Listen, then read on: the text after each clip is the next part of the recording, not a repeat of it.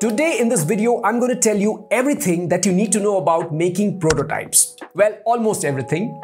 Not the simple prototypes, you know, that we make on our design tools by connecting different artboards, but I'm talking about the advanced one, high fidelity ones which look and feel just like a real app. So much so that if not told, you'll find it hard to distinguish a well-made prototype from a real app.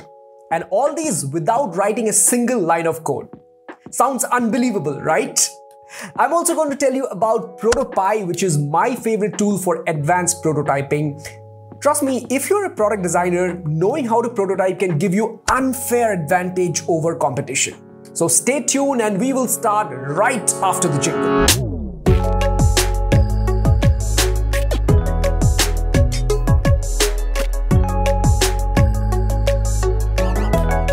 Awesome people, welcome to my channel. This is Sapta and if you are here for the first time, this is the place where I help designers build and scale their career with tips, suggestions and tutorials. So if you're into it, don't forget to hit the subscribe button. What is a prototype? Simply put, a prototype is a preliminary version of a product. Now, how much preliminary can vary based on the nature of the product or what you wish to do with the prototype. For example, say a restaurant has come up with a new dish, invented a new dish, and they wanted to understand if people like the taste of it before mass producing it. The prototype for this could be simple bite-sized portions of the same dish. Now, in these bite-sized portions, only taste is being evaluated and hence the way the food will be presented and the size of the portion are not so important. This is a picture of a bite-sized portion of Turkish pilaf that I had tasted at my workplace. Yeah, perks of working at Swiggy. Similarly, if the goal had been to evaluate only the presentation of the dish, that is, how the dish will look when served, then the prototype could be very different. It may not even need to be made from the actual edible ingredients, but it will need to look exactly like the way they intend to serve to their guest once it is in the menu. In the same way, even in design, it is important to know why you are building the prototype. There could be many reasons. Some common ones are uh, user testing or conveying the idea to your engineering or other team members. I have even made prototypes for early stage founders for presenting their vision to the investors so that they can raise money. In each of the scenarios, the goal is either to showcase and explain the idea or to validate a concept or user experience by testing it with real world before going into mass production. This approach saves a considerable amount of time, money, and effort because you understand, right? You wouldn't want to fail after you have done all the effort and made the final product. Now, some of you might be thinking, hey, what are you talking about? Aren't these user tests supposed to be quick and dirty? Shouldn't we use wireframes for that? Well, you see, wireframes are like skeletons. They are bare bones representations of a product that don't 100% show how it'll work or what it'll look like in real life. And no one likes to interact with skeletons. Think about it. If a skeleton walked up to you and asked you for the time, you'd probably run for your life. A wireframe, on the other hand, may not scare your users, but your users may not be imaginative enough to fill in the gaps in a wireframe to fully understand and then react to it in a natural way. If you show a wireframe in a user testing, your users will still interact with it. You will still have things to observe and document, but there's a high probability that the insights that you observe may not be a realistic representation of how they will actually feel and react when they use your real product. This is because they'll tend to look at it in a literal way and miss important details that could be crucial insights for the success of the product. Let me know in the comments if you want a detailed video on wireframes. That's why users need to be shown an advanced prototype with all the flesh and blood. In other words, a prototype that closely resembles the final product so that the users understand the product and its features in a more realistic way and provide a feedback that is more accurate and actionable.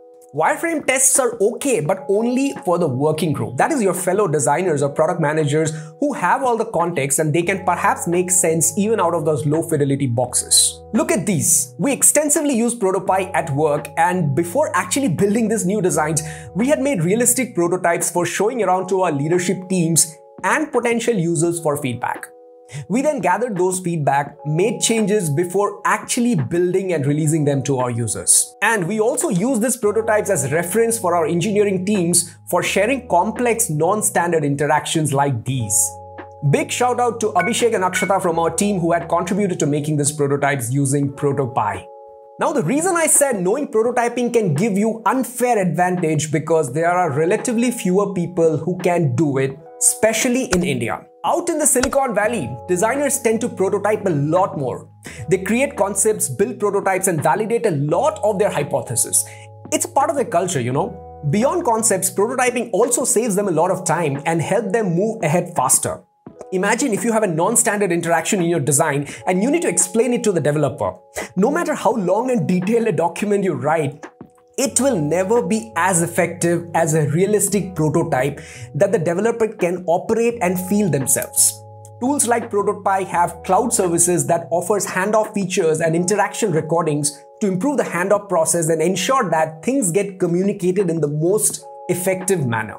Protopie is hands down my favorite tool for advanced prototyping and I have talked about it in a bunch of other videos. I'll drop a link to my video on design tools in the description below. Check that out later. The reason I love Protopie so much is that it lets you achieve an incredible level of interactivity and realism without having to write a single line of code. Plus, it works like a charm on both Android and iPhone and you can take advantage of all the native hardware features like the camera, keyboard, audio input, accelerometer, a 3D touch, compass, proximity sensor, you name it, you have it. Check this out for instance. The super cool interaction where the card inside the app moves as I move the phone can be done very easily using Protopie with just one trigger. Protopie is all about triggers and responses. Triggers are the things that trigger, or in other words, initiate anything. From a simple tap to tilt of the physical device are all triggers. Responses are nothing but the actions or the stuff that happens when a trigger initiates it. For example, tapping a button is a trigger that can initiate a response like moving something or changing the color or opacity of something and so on. There's a long list of triggers and responses available in Protopie. And in this case, tilting the phone at a certain angle will initiate 3D rotation of the card inside it. Yes, that's exactly what I've done here. I have made the assets on Figma and imported the PNG here and I have simply instructed Protopie to 3D rotate the card between minus 8 and plus 8 degrees whenever the device tilts between minus 10 and plus 10 degrees. That's it. Every other response that you see here, be it the move or the opacities, are just to add bells and whistles to it. I've chosen to move the glare, which is nothing but another PNG image, in the opposite direction so that it feels like the reflection of the light is changing, and so on. Trust me, this tool can be super duper fun. You can even write conditions and use variables to build some fair amount of functionality right into your prototype. The possibilities are literally immense. I've literally seen some of my colleagues build some simple games on Protopie because why not? You can do it. Here, I haven't even told you the best part yet. The best part is that, are you ready? Well, the best part is that it's free for individuals. Of course, the free plan has some limitations, but that's enough for you to get started. But, but, but, but, but, if you are a student or a teacher with a valid ID card, you can get even the paid plans for free. Yes, that's how the tool works. And if you're not a student or a teacher and you still want to use the paid version, don't worry, you can use the code SAPTARSHI to get a flat 30% off when you check out. Also, let me know in the comments if you want me to make a series of tutorials on Protopie that is super easy to understand for beginners. If I get enough number of comments, I'll surely make that series. So there you have it folks. Prototyping is super important in design process and can really help your career. Like I said, in India, we still don't have the active culture around prototyping and you can change the game by being a pioneer and a relatively early adopter.